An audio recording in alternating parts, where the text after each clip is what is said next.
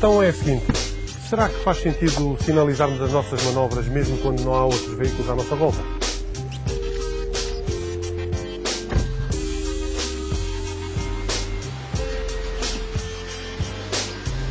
A resposta é obviamente sim.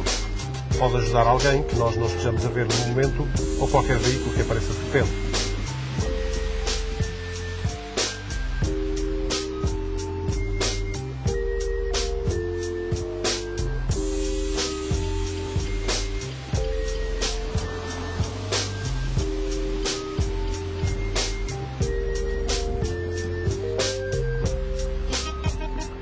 Mesmo que o nosso sinal não sirva para alguém em determinado momento, pelo menos cria-nos um automatismo que é necessário em muitas circunstâncias. E todos ganhamos com isso. Boa viagem e até para a semana.